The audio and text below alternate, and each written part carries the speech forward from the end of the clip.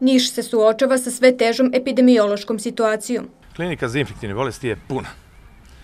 Klinički centar, ovo do sada što smo otvorili, je pun. Verovatno ćemo sad morati, ne verovatno, nego sigurno, već u toku današnjeg dana otvarat ćemo još jedan sprat novog kliničkog centra. Znači, stvarno apelujemo, propadaju i medicinske sestre i lekari i higijeničari koji nam stvarno mnogo pomažu. Znači, hajte malo da se uzbiljimo i da počnemo da razmišljamo ne samo o sebi, nego i o drugima. Prepuni smo.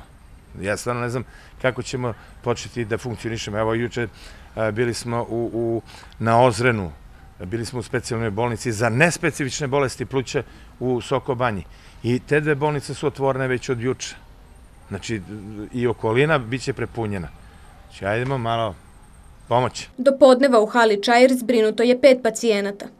Od toga ovaj, imamo sa rehabilitacije Niška banja dva, imamo dva pacijenta sa rehabilitacije kliničkog centra Niš i jedan pacijent je ovaj, čovek koji radi u futbolskom klubu Radnički, moram i to da kažem. Znači tu ćemo morati malo više da poradimo, da vidimo da li još postoji pozitivnih ili negativnih potencijalnih pacijenata. A, zašto kažem za ove pacijente? To su pacijenti koji nisu iz Niša.